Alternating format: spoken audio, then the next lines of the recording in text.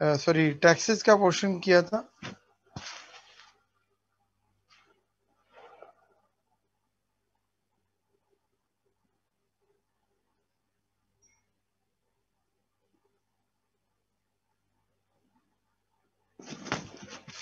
Public and private finance किया था हम लोगों ने।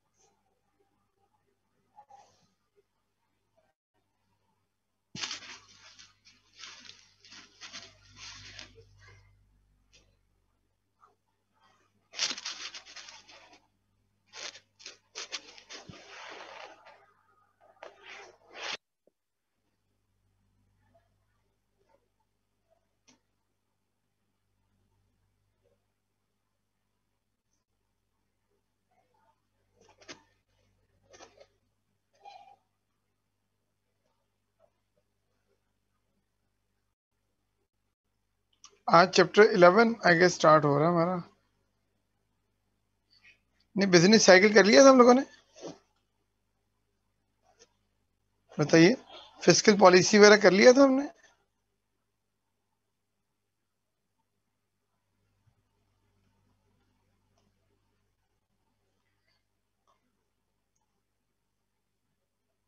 एक्चुअली एक और जगह पे क्लास चल रही है।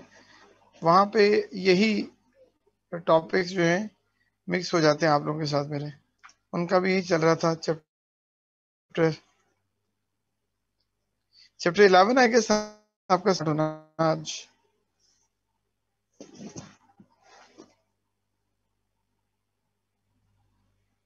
राइट अच्छा जी, ये मनी का पोर्शन है। देखिए, इसके इंट्रोडक्शन में कुछ चीज़ें हैं। जो हमें कर लेनी चाहिए।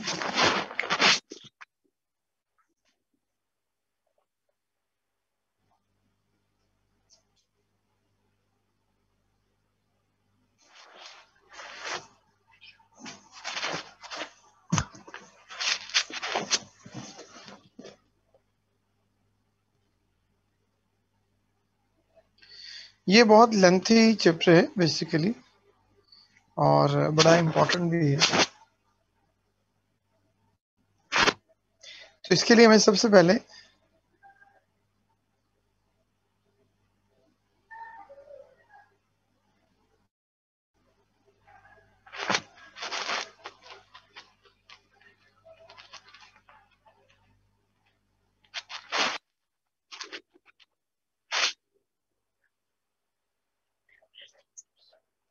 बार्टर सिस्टम करना चाहिए हमें सबसे पहले।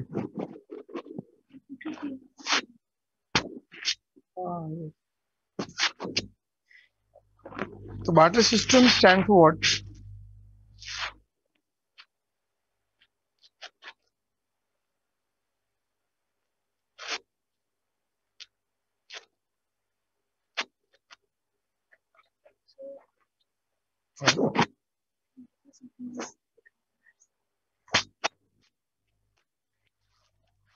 दुनिया में जब मनी का, जो आजकल स्टैंडर्ड मनी है, इसका कॉन्सेप्ट नहीं था तो what was that time that is called barter system barter system stand for what? Exchange of goods against goods.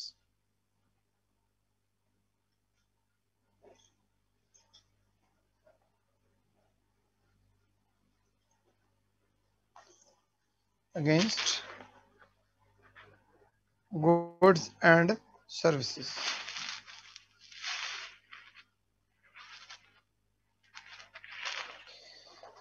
अब ये सिस्टम बहरहाल एक दुनिया में बड़ा लंबे अरसे तक एक्सेप्टेबल रहा लेकिन gradually people start facing some troubles some problems, some inconveniences, right?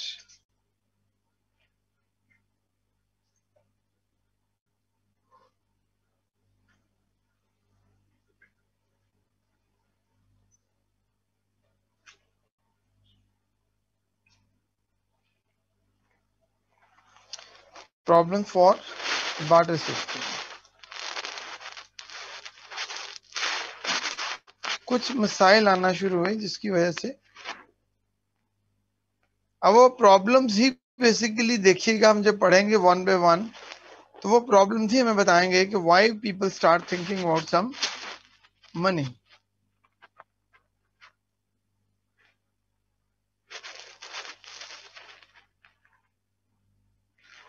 ये जी। Problem for barter system first was ability to exchange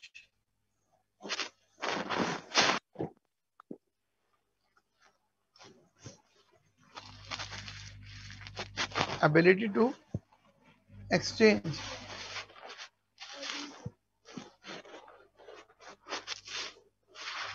yani ki jab barter system चल रहा था तो उसमें बहुत सी जगहों पर यह प्रॉब्लम आया कि कुछ चीज़ें ऐसी होती हैं जिनकी एबिलिटी टू एक्सचेंज नहीं होती। लाइक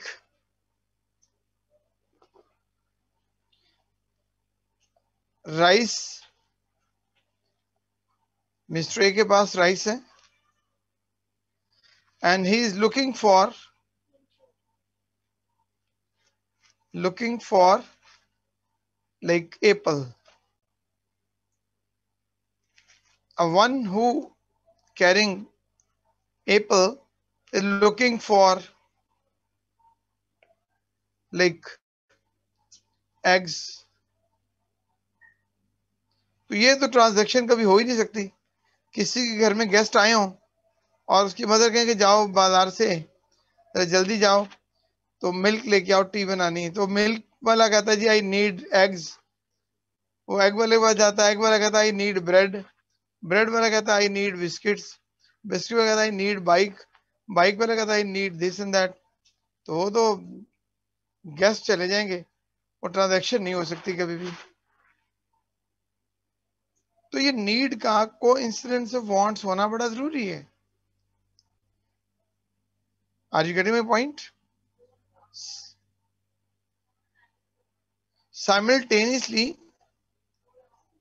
both sides पे आपकी डिजायर्स आपकी वांट्स का मैच करना बड़ा ज़रूरी है, जो कि यूजली मैच नहीं होती। और जब ये मैच नहीं होती तो ट्रांजेक्शन नहीं होती थी। तो बाटर सिस्टम के लिए ये एक प्रॉब्लम फेस करना शुरू हो गए। What it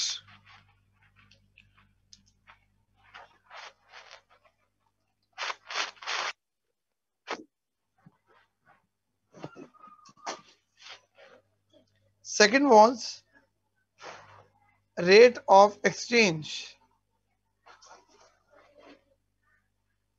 Rate of exchange आपको पता है जो रियल गुड्स होती हैं, उनमें उनके यूनिट्स उनकी क्वांटिटी उनकी क्वालिटी मैच नहीं करती some time like cotton versus gold अब कॉटन को अगर वेट करेंगे गोल्ड के साथ तभी मैच नहीं करेगा। वॉल्यूम करेंगे तभी मैच नहीं करेगा। तो ये कौन डिसाइड करेगा how much gold will be exchange with how much cotton cotton को वॉल्यूम में करें गोल्ड को वॉल्यूम में करें गोल्ड को वेट में करें कॉटन को वेट में करें। तो it doesn't make any sense we can exchange some of the cotton with gold So eventually we have to go for some standard medium of exchange, जो कि बाद हम देखते हैं फिर क्या हुआ। स्टोरिंग एंड सेविंग पैरिशेबल के केस में आपको आइडिया है पैरिशेबल का?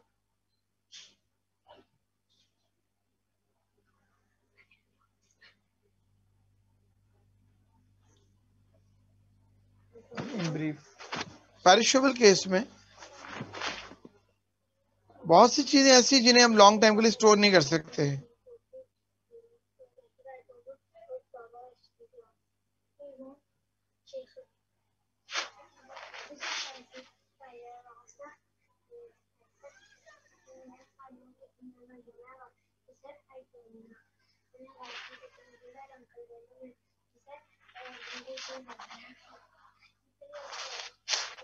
अब जो चीज़ें स्टोर नहीं हो सकती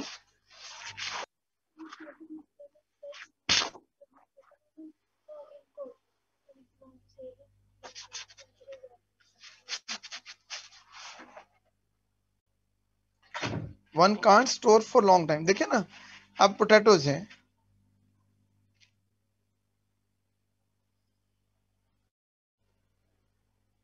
या डेयरी है। पोल्ट्री है। फिशरीज हैं।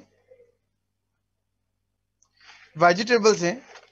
इनके केस में आप स्टोर ही नहीं कर सकते लॉन्ग टाइम तो अगर आपके पास एसेट जो है, वो पैरिशेबल के गुड्स की फॉर्म में होगा तो आप उसको स्टोर ही नहीं कर सकते। जब आप स्टोर नहीं कर सकते तो आपकी वेल्थ नहीं बनेगी। डिविजिबिलिटी का केस था। डिविजिबिलिटी इटसेल्फ एक हर्डल है। बहुत सी चीज़ें जो इनडिविजिबल हैं। देखें इंडिविजिबिलिटी के केस में क्या होता है? काओ वर्सेस एग्स अब किसी के पास एग्स हैं तो वो तो one two three so on जितने चाहे एग्स सेपरेट कर सकता है। लेकिन काउ में बीफ का केस इम्पॉसिबल टू कट या तो सारी काउ कट करें तो फिर बीफ होगा।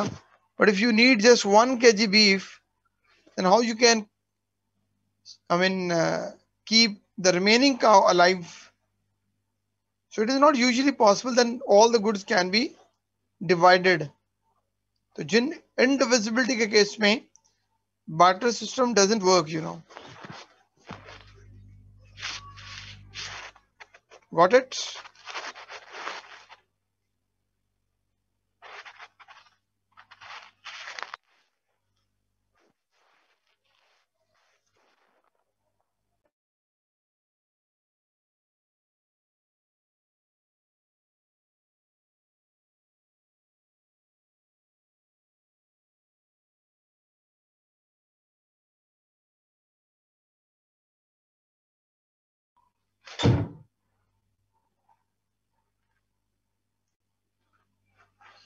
यहाँ तक समझ आ गया जी? अब इन हर्डल्स के बाद वाटर सिस्टम तो वर्क कर नहीं सकता था। तो फिर क्या हुआ? People start looking for some alternative system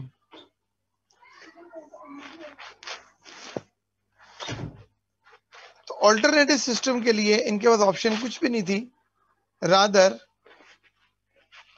कुछ बोन्स कुछ स्टोन्स कुछ कमोडिटीज को as a medium of exchange accept किया गया। बट द एक्चुअल मनी जो है, ये जो मैं वर्ड लिखने लगा हूँ, ये जरा गौर से सुना आपने। Basic need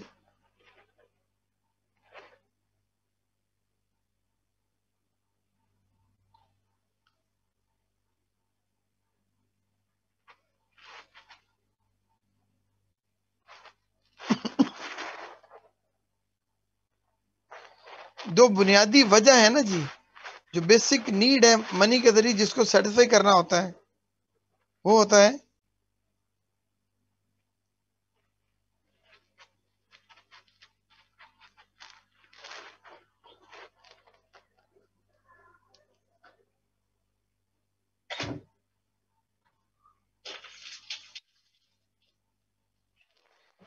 medium of exchange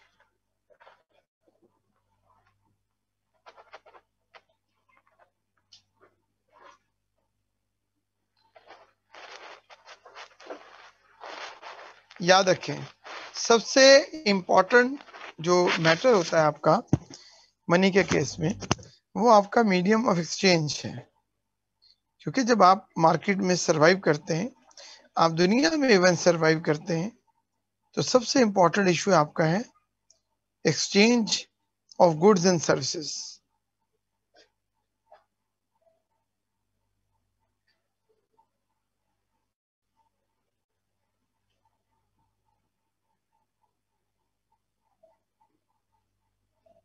yes.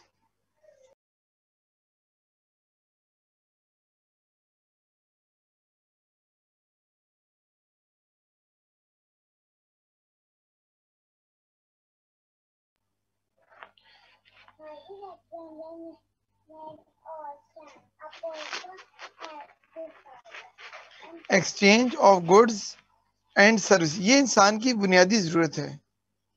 और इस ज़रूरत के लिए उसको कुछ ऐसा चाहिए था जो उसको as a medium of exchange आए, क्योंकि आपका अगर घर है, किसी को अगर आप देते हैं, आपके पास क्लोथ है, किसी को आप शेयर करते हैं, किसी आपका फ़ूड है, वो आपने किसी के से एक्सचेंज करना है, आपके पास कुछ स्किल्स एजुकेशन है, वो आपने किसी के से एक्सचेंज करनी है so something should be there which can be used as a medium of exchange which can be used for transaction. Right? If i am offering house then you must have to offer something in exchange isn't?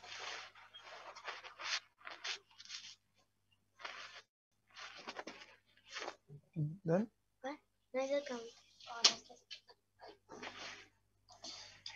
ये है जी background money का।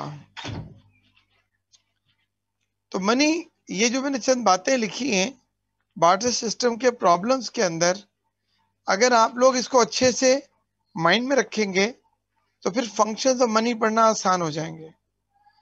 यानी कि money क्या है जी? Anything which is which acts as a medium of exchange acts as a medium of exchange लेन देन में आपको इस्तेमाल करने में हेल्प करे। Act as a unit of account जिसको मैयर ऑफ़ वैल्यू कहते हैं। कि कॉटन कितने की होगी गोल्ड कितने का होगा राइस कितने के होंगे फर्नीचर कितने का होगा।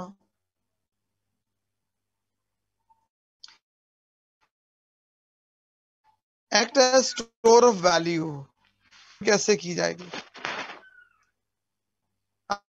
आप पेरिशेबल के केस में उसको सेल करें मनी में कन्वर्ट करें and when you need again that commodity you can purchase act as a standard deferred payment consumable goods जब हुआ करती थी वाटर सिस्टम में तो कंज्यूमेबल गुड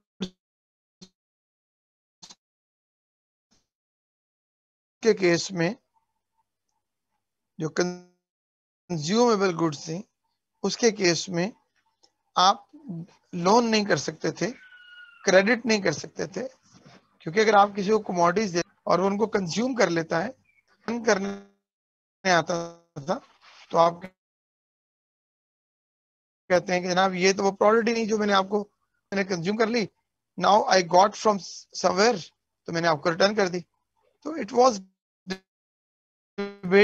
in fact.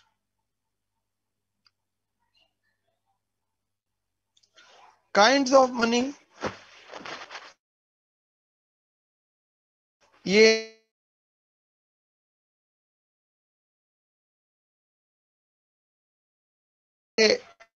थोड़ी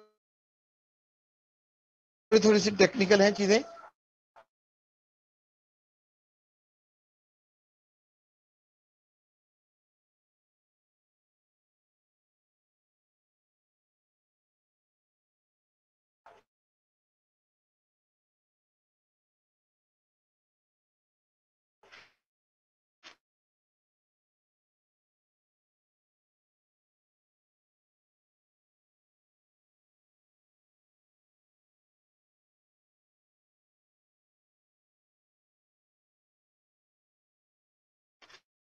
can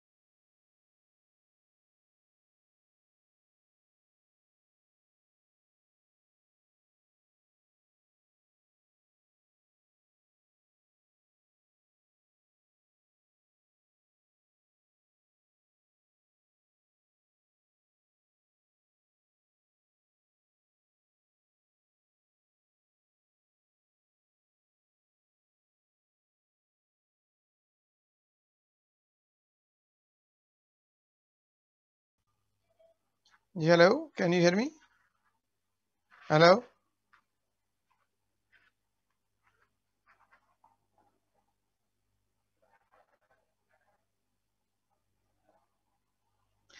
क्या इशू? आई गेस कोई इंटरप्ट हुआ नेट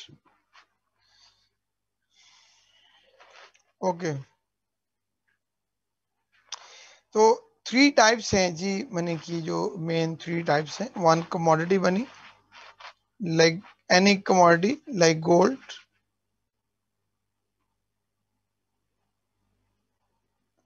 silver जो कि as a commodity medium of exchange के तौर पे यूज़ हो सकती हैं। आपको पता है पूरी दुनिया में एक लंबे अरसे तक मनी गोल्ड को directly without converting gold been you know, used as a medium of exchange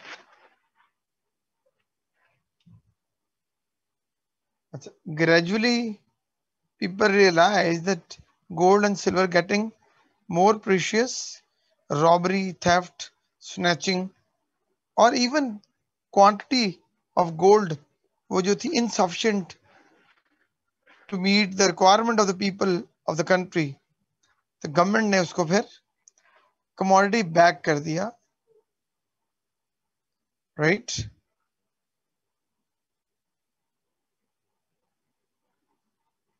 Money which is backed by gold like आपके जितने करेंसी नोट हैं,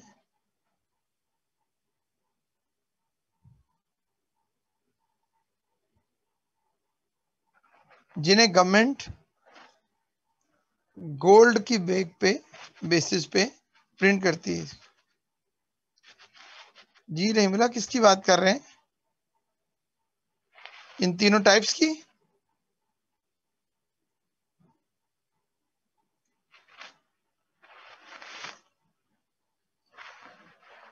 कर मैं देता हूँ, लेकिन देखिए अरेंज सब टाइम जो है ना, वो हमारे पास कम होगा।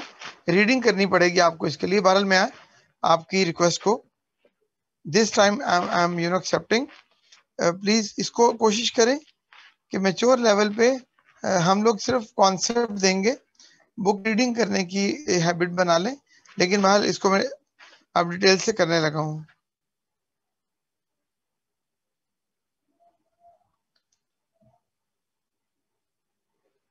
कमोडिटी मनी जब बाटर सिस्टम खत्म हुआ तो बाटर सिस्टम के क्लैप्स के बाद लोगों ने डिफरेंट कमोडिटीज को as a medium of exchange use करना शुरू किया। लाइक बोन्स डिफरेंट किस्म की बोन्स को, हड्डियों को प्रीशियस जो बोन्स थी लाइक एलिफेंट बोन्स उन बोन्स को as a medium of exchange जनाब जिसके पास भी हाथी के दांत हैं, वो किसी वक्त भी, किसी भी कमोडिटी को एक्सचेंज करने के लिए यूज़ कर सकता है। लेदर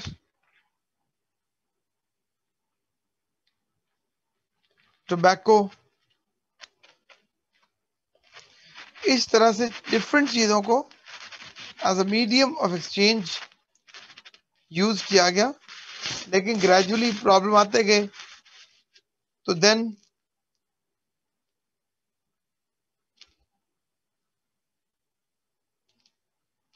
आज तक जो दुनिया में सबसे ज़्यादा यूज़ हो रहा है कमोडिटी वो gold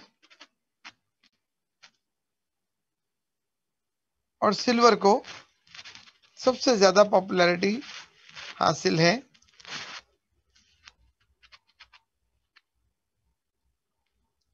as a commodity medium of exchange.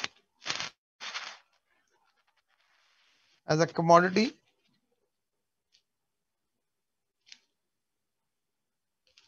medium of exchange.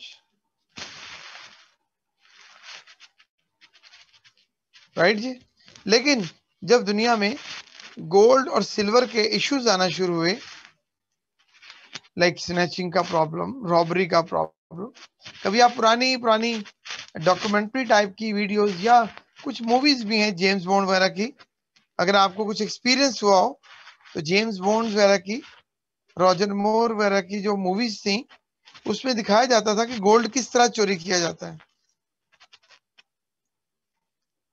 May be आप किसी ने एक्सपीरियंस किया हो। तो गोल्ड की चोरी का ट्रेंड बहुत बढ़ गया था दुनिया में। क्योंकि गोल्ड की बेसिस पे इकोनॉमिक रूल्स शुरू हो गए हैं। तो ग्रेजुअली जब दुनिया और सिविलाइज हुई तो इन्होंने कहा कि नहीं, गोल्ड को as a medium of exchange use ना करें, बल्कि आपके जो प्रीशियस मेटल्स हैं,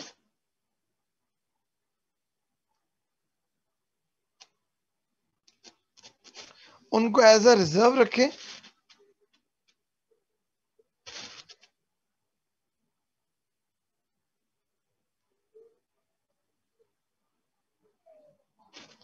और नोट इश्यू करने के लिए उन्हें गोल्ड को सिल्वर को या जो भी प्रीशियस मेटल अवेलेबल थे, उन्हें रिज़र्व रखकर नोट इशू किए जाते हैं। जैसे आजकल जितने भी आपके डॉलर हैं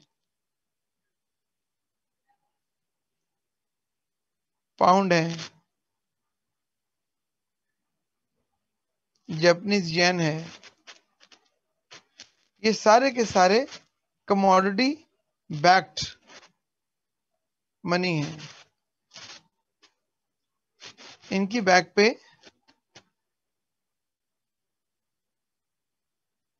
hundred percent backed by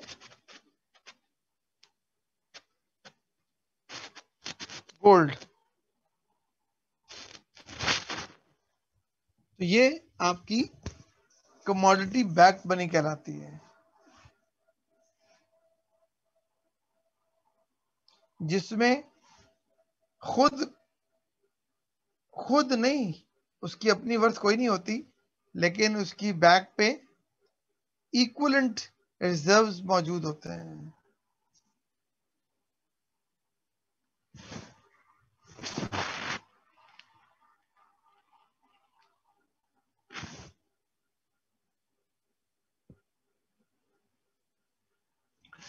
नहीं, जो देखे जी, ये मोहम्मद,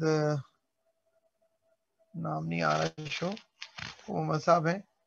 इन्होंने क्रिप्टो करेंसी का वर्ड यूज़ किया है। ये टर्म यूज़ हुई है कि is going to be the next mode of exchange देखें, अभी तो बिटकॉइन है। बिटकॉइन दुनिया में चल रहा है। Crypto currency obviously is one form of virtual currency देखिए, ये कोई एक नहीं है, ये वर्चुअल करेंसीज है। ये वर्चुअल करेंसीज है, दुनिया में किसी वक्त भी हो सकती हैं।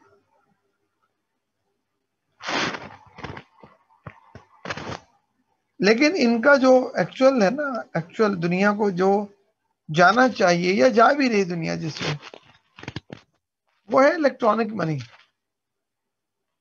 बस ऑनलाइन पेमेंट्स हो ऑनलाइन ट्रांजेक्शन हो। कोई मीडियम एक्सचेंज यूज़ ना हो जस्ट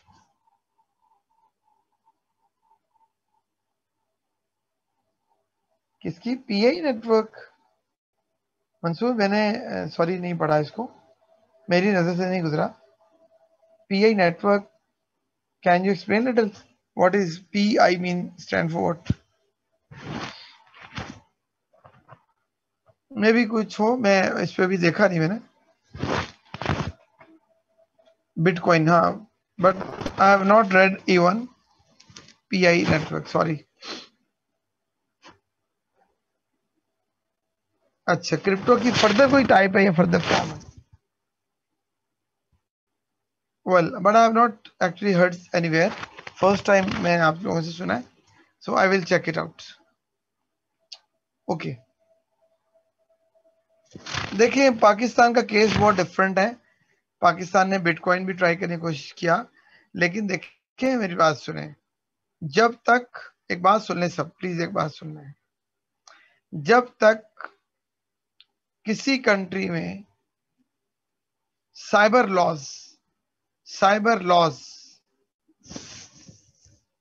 जब तक साइबर लॉज स्ट्रांग नहीं होंगे सर पाकिस्तान से आप फ़िज़िकल करेंसी का कोई सब्सटीट्यूट अल्टरनेटिव नहीं ला सकते। देखिए most popular most common practice जो पाकिस्तान में चल रही है other than physical currency note वो एटीएम है। समझते हैं आप? Debit card credit card which is actually being considered as I as uh, the best substitute of the physical currency note that is ATM debit card credit card but still उसमें भी money involve हो रही है. And plus इतनी efforts government ने की इतनी struggle government ने की. अभी तक कोई फाइव टू टेन परसेंट लोग हैं जिन्हें आप एटीएम प्लास्टिक मनी डेबिट और क्रेडिट मनी में के सिस्टम में ला पाए हैं. वजह लोगों का ट्रस्ट ही नहीं अभी तक। लोग इनसिक्योर फील करते हैं स्टिल ऑनलाइन पेमेंट के अंदर फ्रॉड हो जाते हैं। डेबिट कार्ड आपके हैक हो जाते हैं। पासवर्ड आपके हैक हो जाते हैं। तो साइबर लॉज जब तक पाकिस्तान में स्ट्रांग नहीं होंगे, जैसे आपको शायद पता होगा कॉपीराइट्स का और पायरेसी का। पायरेसी एक बहुत बड़ा क्राइम है दुनिया के अंदर। पायरेसी, लेकिन पाकिस्तान के अल्लाह, में अल्लाह के फजलो करम से, कल्चर है पायरेसी। उसी की वजह से, उसी की वजह से पाकिस्तान में बहुत सारा टैलेंट जो है, वो भूखा मरता है। मैं पिछले एक इंटरव्यू सुनना था आपने सुना होगा, शौकत अली जो सिंगर था, वो उसकी डेथ हुई है। तो उसका एक प्रोग्राम इंटरव्यू था ओल्ड वन रिकॉर्डेड इंटरव्यू वो ऑन एयर हुआ तो मैंने उसको सुना तो उसमें उसने कहा जी, उसने कोई सॉन्ग गाया था, किसी इंडियन मूवी ने उसको कॉपी कर लिया। तो उसने पूछा, आपने उनसे कितना चार्ज किया? कहता, हमने क्या चार्ज करना था? उन्होंने खुद ही मुझसे परचेज कर लिया वो सॉन्ग तो कहते, कितने पैसे मिले आपको? तो कहता, जी, पाकिस्तान में अगर होता तो कोई आठ से दस हज़ार मिल रहा था। उन्होंने मुझे दस लाख रुपया, आठ से दस लाख रुपया दिया। अब चेक करें कि एक सॉन्ग का जहाँ दस हज़ार रुपया मिलता है आउट ऑफ़ कंट्री आपको उसकी रॉयल्टी के चक्कर में दस लाख मिलता है तो आप सोच सकते हैं, आप सोच सकते हैं कि सौ गुना ज़्यादा है। तो अगर तमाम लोगों के टैलेंट्स को कॉपीराइट्स दे दिए जाएँ तो सर ये तो बिलियंस कमाए।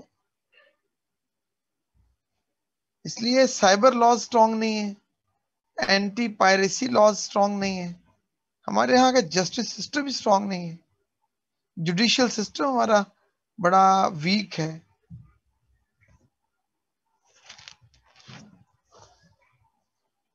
इसलिए ये हिप्टो क्रिप्टो करेंसी ये आपकी बिटकॉइंस ये वर्चुअल करेंसीज ऑनलाइन पेमेंट्स ये कल्चर पाकिस्तान में अभी दूर दूर तक नज़र नहीं आता इसका। चले जी। Are you getting my point? Third है फियट करेंसी या फियट मनी फियट मनी वो मनी होती है जिसकी अपनी इंट्रेंसिक वैल्यू नहीं होती।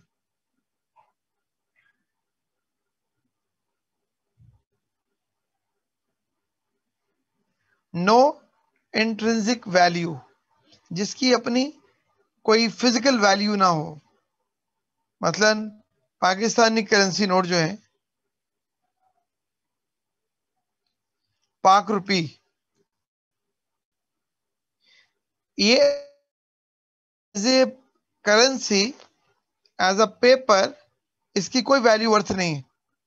लेकिन जस्ट एक डिक्री है, एक गवर्नमेंट की तरफ़ से अथॉरिटी है जिसके ऊपर लिखा होता है कि स्टेट बैंक ऑफ़ पाकिस्तान की तरफ़ से जारी करदा हुकूमत पाकिस्तान की जमानत से जारी हुआ, हामिल हाजा को मुतालबा पर अदा करेगा, ये एक इस तरह से एक स्टेटमेंट लिखी जाती है और उस स्टेटमेंट की बेस पे आप उसको hundred five hundred thousand five thousand को नोट के तौर पे एक्सेप्ट करते हैं। अदरवाइज़ करेंसी नोट की अपनी वर्थ वैल्यू नहीं है। Is called fiat currency divisibility transport सबसे इंपॉर्टेंट इसका है।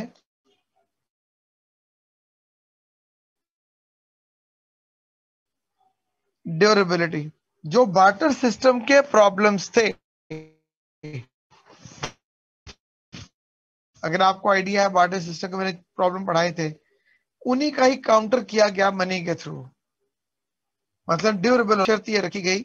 It should be system flop हुआ। तो बार्टर सिस्टम के फ्लॉप होने की वजह से एक मनी को इंट्रोड्यूस किया गया। नहीं सारे नहीं नहीं नहीं नहीं, नहीं,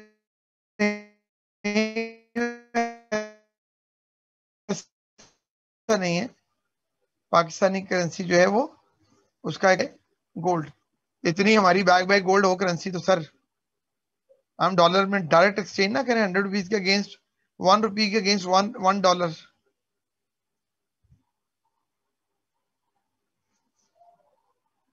okay second characteristics है डिविजिबिलिटी करेंसी वो अच्छी होती है जो डिविजिबल हो।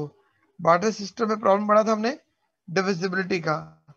पाकिस्तान के अंदर फाइव थाउज़ेंड का नोट भी है। वन थाउज़ेंड को भी कन्वर्ट किया जा सकता है। फाइव हंड्रेड भी कन्वर्ट हो सकता है। हंड्रेड में भी हो सकता है। फिफ्टी में भी हो सकता है। ट्वेंटी में भी हो सकता है और टेन में भी हो सकता है।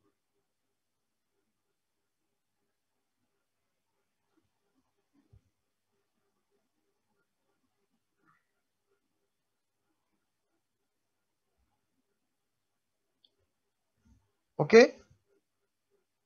तो ये डिविजिबल है ना जी? तो करेंसी आपकी डिविजिबल होनी चाहिए। ट्रांसपोर्टेबिलिटी बाटर सिस्टम एक हडल थी कि आप बहुत सारे कमोडिटी को ट्रांसपोर्ट नहीं कर सकते। लाइक आपकी प्रॉपर्टी है, आपके कोई क्रॉप्स हैं आपकी, आपका कोई पोल्ट्री शेड है इन चीज़ों को ट्रांसपोर्ट करना या तो पॉसिबल ही नहीं होता और या फिर बहुत डिफ़िकल्ट होता है। तो इसको आप सेल करें, मनी में कन्वर्ट करें और मनी को आप ट्रांसपोर्ट कर लें। Non counterfeitability non counterfeitability duplication possible ना हो। इसकी डिफ़िकल्ट टू कॉपी इसे कहते हैं डिफ़िकल्ट टू कॉपी अच्छी करेंसी वो होती है जिसको डुप्लीकेट ना किया जा सके, जिसकी कॉपी करना मुश्किल हो। एवोल्यूशन रीडिंग है जी जस्ट 2.5 को लिख लें। ओनली रीडिंग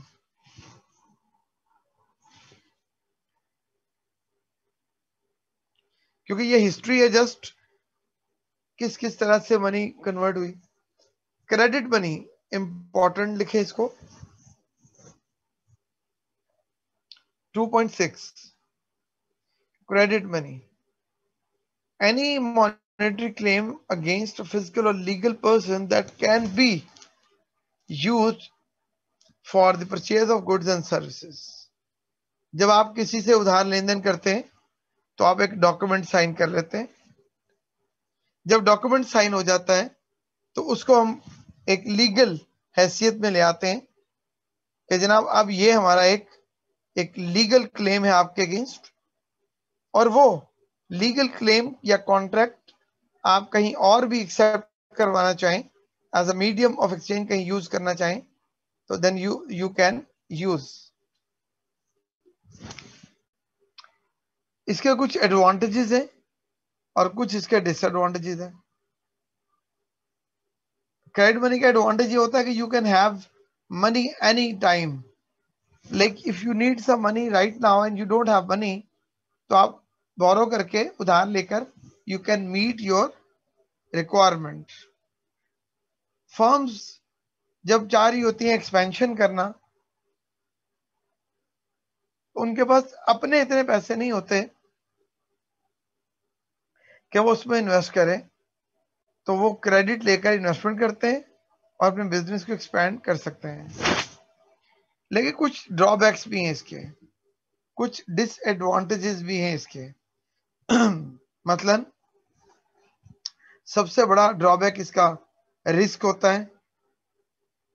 राइट सबसे बड़ा प्रॉब्लम रिस्क है इसका। क्योंकि क्रेडिट में रिस्क इन्वॉल्व होता है। क्या आपने किसी को पैसे दिए? क्या पता you will get your money back और नॉट और सेकंड ट्रस्ट ट्रस्ट डेवलप करना भी एक बहुत बड़ा इशू है।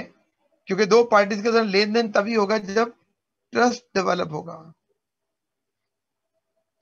नेक्स्ट टॉपिक जी बहुत इंपॉर्टेंट एग्जामेबल टॉपिक है।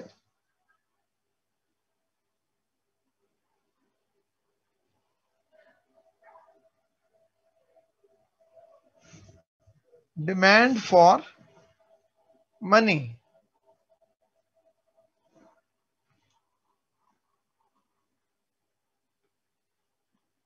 इस पे दो टॉपिक पूछे जाते हैं एग्ज़ाम में। तो आप लोगों ने इसको बहुत ध्यान से सुना है।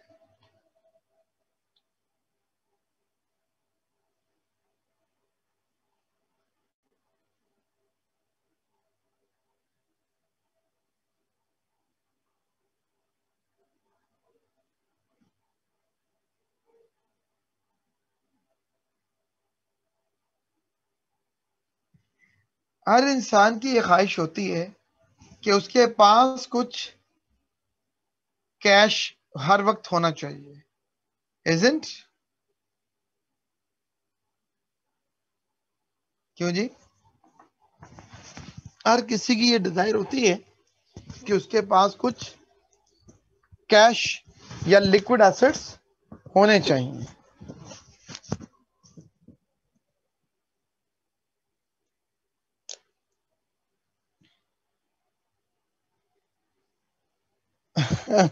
रहीम, ये आप नीड टू नीड वेरी करेगी ना जी?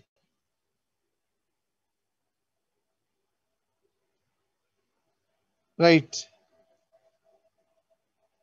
अब ये तो डिपेंड करता है ना कि आपने, आपकी क्या रिक्वायरमेंट्स हैं। ये वेरी करती है person person need to need Keynes है एक इकोनॉमिस्ट जिसने फ़र्स्ट टाइम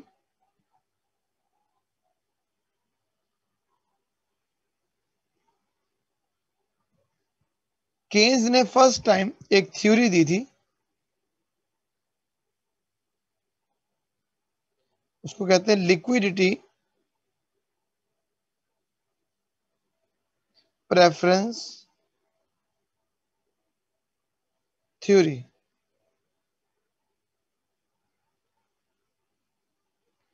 उसने कहा था why people hold money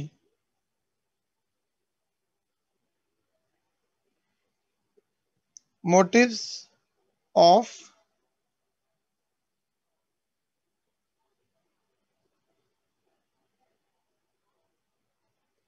ये केन्स ने बड़ी पॉपुलर दुनिया में जहाँ जहाँ इकोनॉमिक पढ़ी और पढ़ाई जाती है, और बड़ी पॉपुलर थ्योरी दी थी। Motive for demand for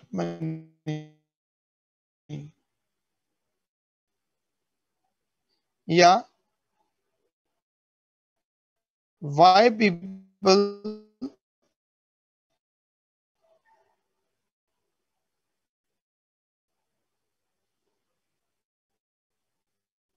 who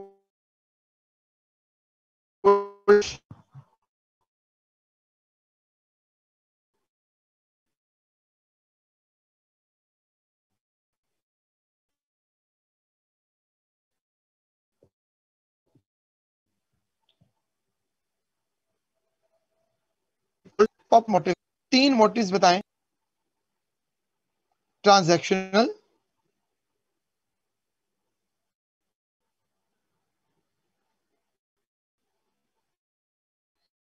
precautionary और स्पेकुलेटिव उसके बाद तीन वजूहत होती हैं जी। तीन तरह के मोटिव्स होते हैं जी बिहाइंड द सीन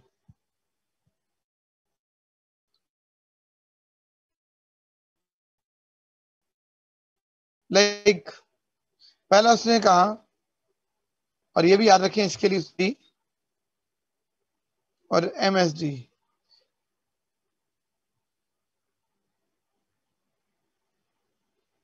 उसने कहा ट्रांजेक्शन का मतलब होता है day to day requirements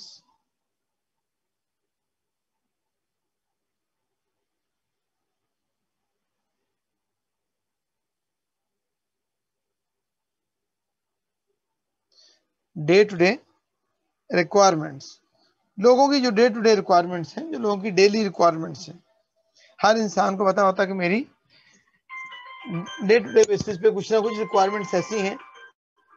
मतलब खाना पीना है मैंने। खाना पीना मेरी रिक्वायरमेंट है। इजेंट आप घर से निकलते हैं, आपकी ट्रांसपोर्टेशन है। आपकी तो ये आपकी कुछ नीड्स ऐसी हैं, जिनकी बेस पे you must need some money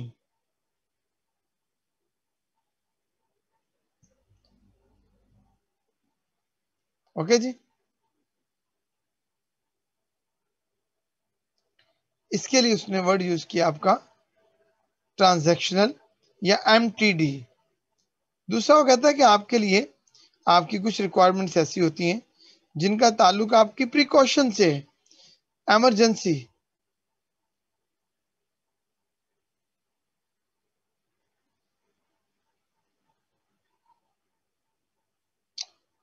आपकी इमरजेंसी के लिए कुछ जरूरियात होती हैं आपकी, जो आपको डेली नहीं चाहिए होती but you need in emergency अब ऑब्वियसली जब आप पैसे नहीं रखेंगे अपने पास इमरजेंसी के लिए तो अचानक अगर पैसों की ज़रूरत पेश आएगी तो कहाँ से लेंगे फिर? और तीसरा है स्पेकुलेटिव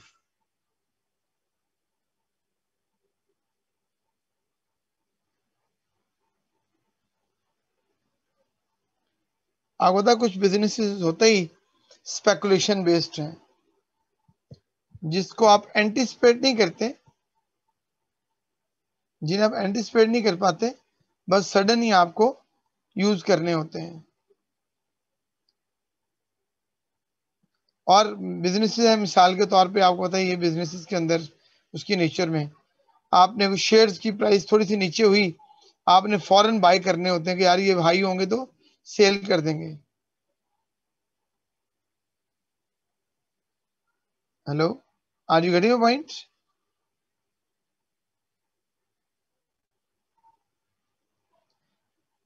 तो आपको समटाइम ये होता है प्रॉपर्टी में कोई फाइल्स अच्छी मिल जाती हैं अचानक, आप उसके रेट के सिलसिले में भी बाय करना चाहते हैं। इन कामों के लिए जो आपके पास पैसे होते हैं, उन्हें हम कहते हैं प्री स्पेकुलेटिव मोटिव्स इन तीनों को इकट्ठा कर लें तो केन्स कहता है कि it is total demand for money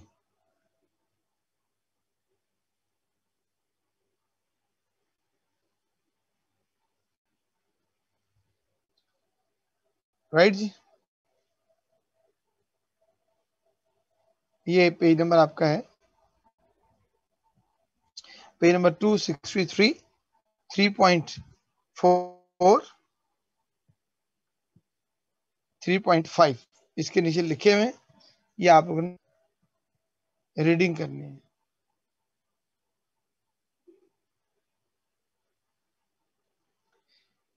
अच्छा ये थ्री पॉइंट सिक्स को नोट कर लें। चैप्टर नंबर ट्वेल्व में पढ़ेंगे जाके हम लिक्विडिटी ट्रैप को। चैप्टर नंबर ट्वेल्व के साथ मिलाकर पढ़ेंगे। तो ये था जी डिमांड फॉर मनी का कॉन्सेप्ट उसके बाद है supply of money supply of money बड़ा सिंपल है।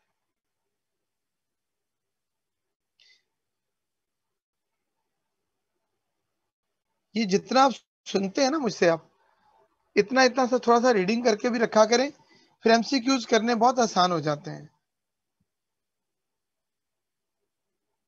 जितना हम लिखते हैं, बोलते हैं डिस्कस करते हैं, ये आपको फिर हेल्प करते हैं एमसीक्यू सॉल्व करने में।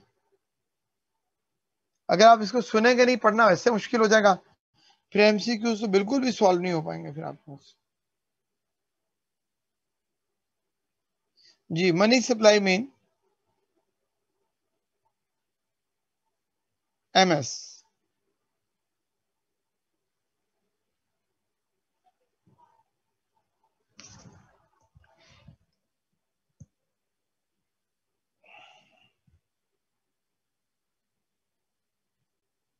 total money in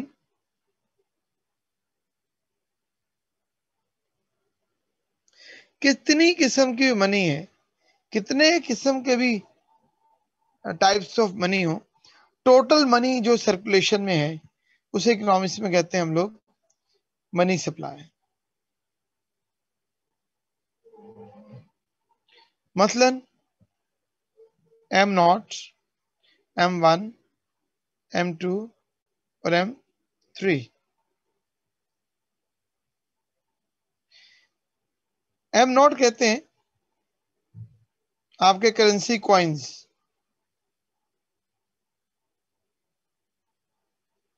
currency coins किसी भी कंट्री में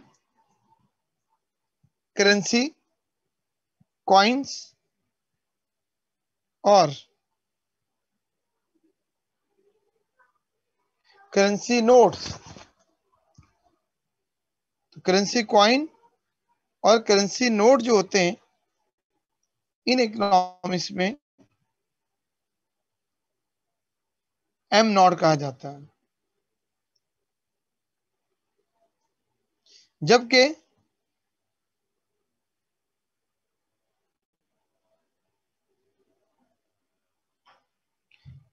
बैंक्स के अंदर वो पैसा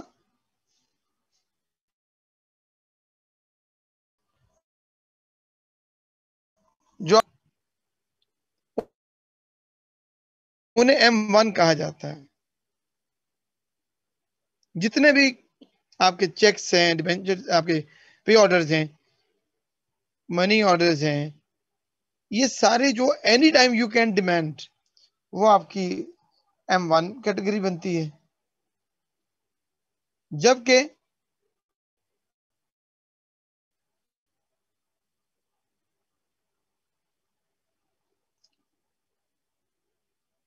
टाइम डिपॉजिट्स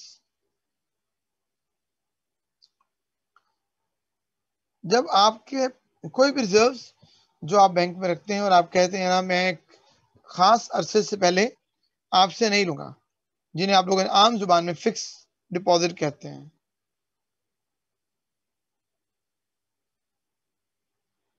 फिक्स डिपॉजिट या टाइम डिपॉजिट अब टाइम डिपॉजिट भी एक फॉर्म ऑफ़ मनी इसको हम टू कहते हैं।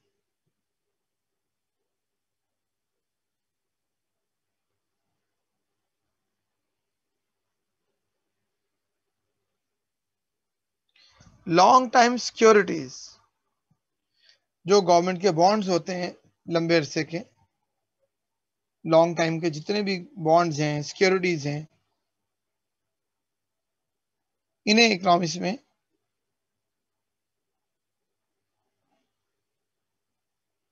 एम टू कहा जाता है।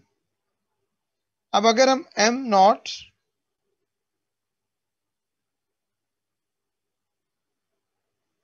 एम वन और एम थ्री कर लिया जाए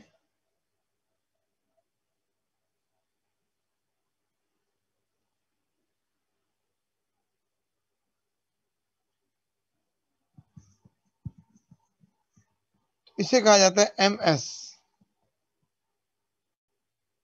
money supply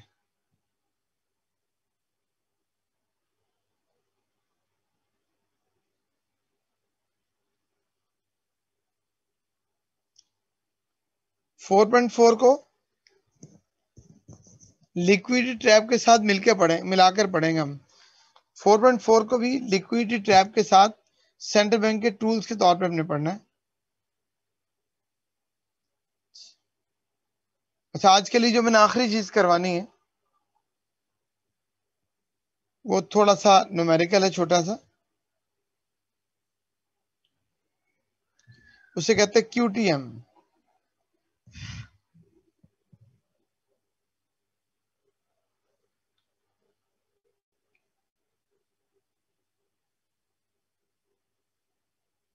quantity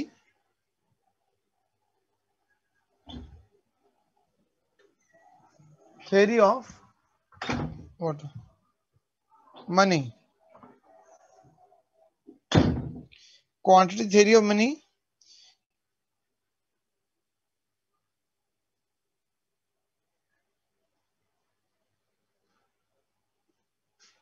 इसको फिशर मॉडल भी कहते हैं, क्यों प्रोफेसर इरविंग फिशर ने इसको इंट्रोड्यूस किया था? ये कहता है कि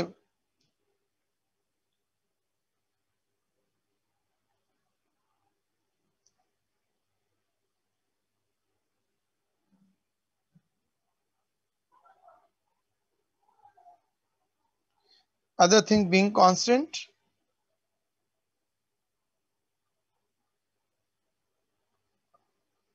Double the money.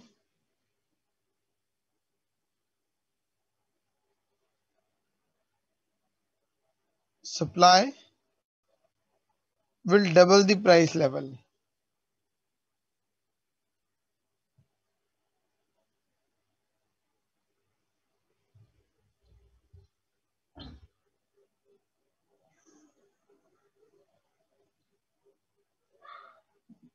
but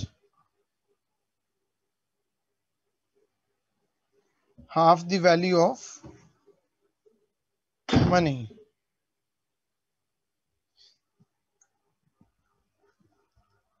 ये जरा बात को समझना थोड़ा ज़रूरी है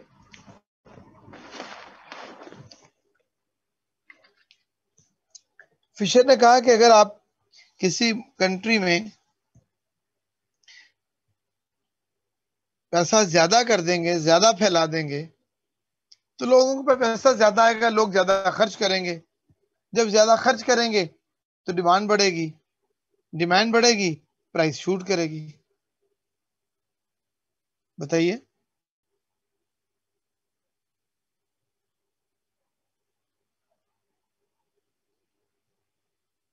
मसलन, ये आपका एडी है, ये आपका एस है।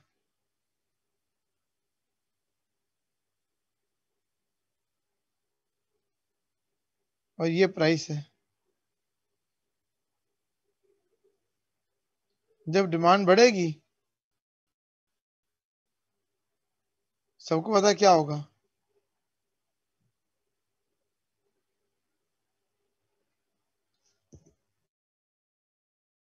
ये तो हम लोगों ने पीछे।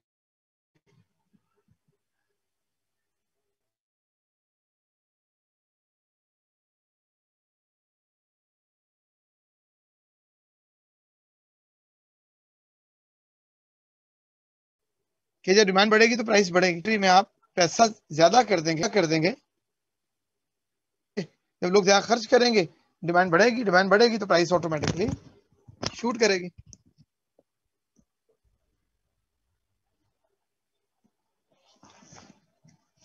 क्यों जी?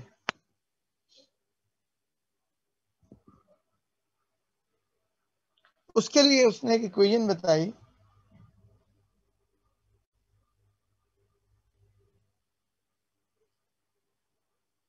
Mv is equal to py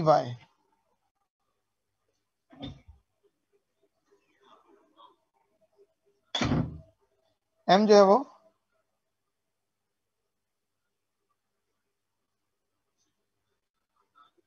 money quantity है. V mean velocity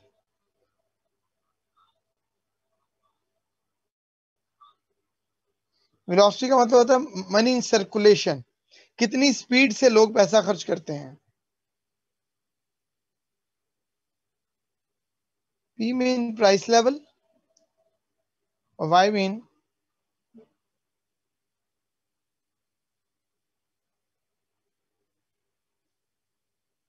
goods and services.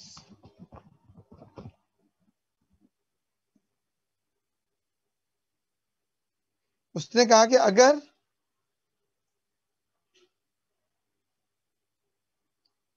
M hundred हो वी टेन हो वाई फिफ्टी हो तो प्राइस क्या होगी जी? कौन बताएगा आप इसे? कैलकुलेशन करके दिखाएँ। फॉर्म ऊपर मैंने क्वेश्चन लिखी थी।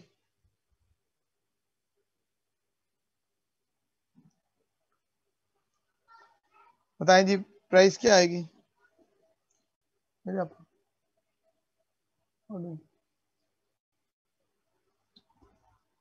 पी क्या होगा जी?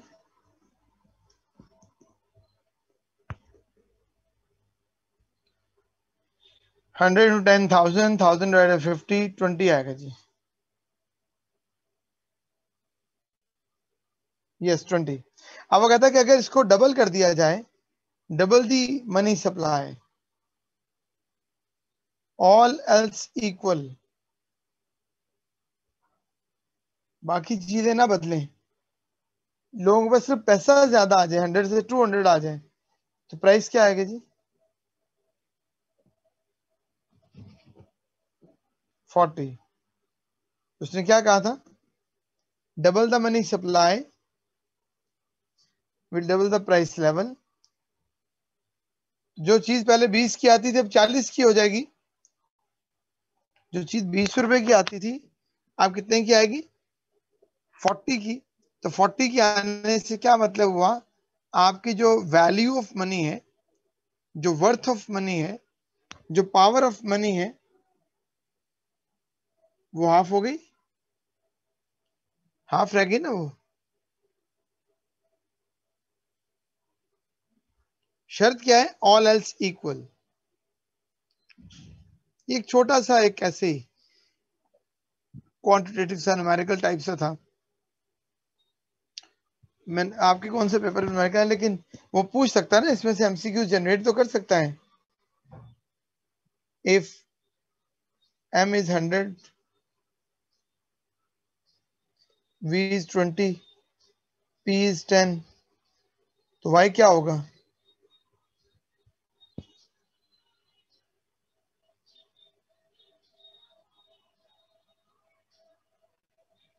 बताइए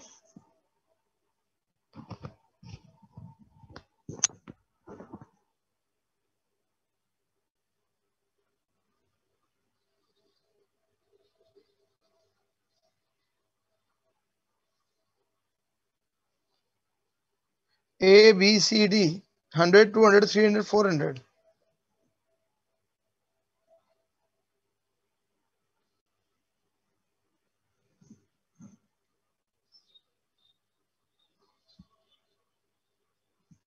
Correct option is?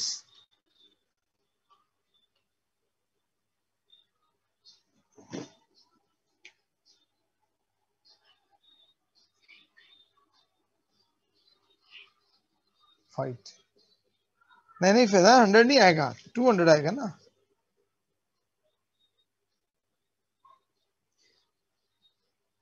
Hundred into ten into ten sorry Y into ten ten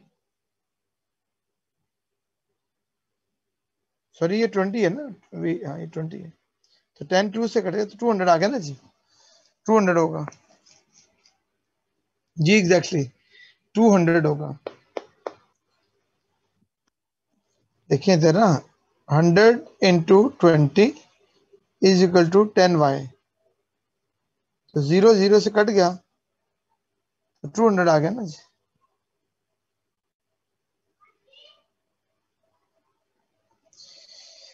ठीक है जी। कल हमारा बड़ा मेजर पोर्शन है इस चैप्टर का। इन्फ्लेशन मेज़रमेंट टाइप्स फिलिप्स कर तक। I will try my best कल ये चैप्टर कंप्लीट हो जाएगा, इंशाल्लाह। छुट्टी ना कीजिएगा लेट ना आइएगा। अगर आपके माइंड में कोई क्यूरी है, कोई क्वेश्चन है तो पूछ ले मेरी तरफ़ से। It is over from my side आपके माइंड में कुछ क्वेश्चन है, कोई क्यूरी है then you can please